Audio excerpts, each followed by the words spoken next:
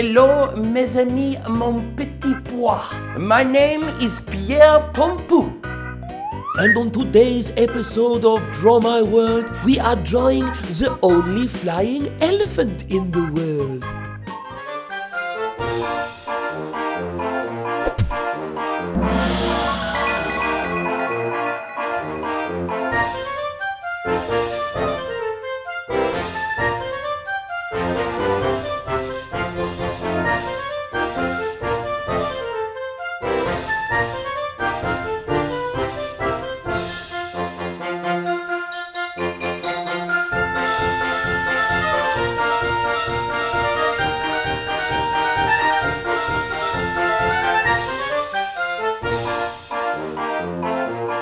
Bye.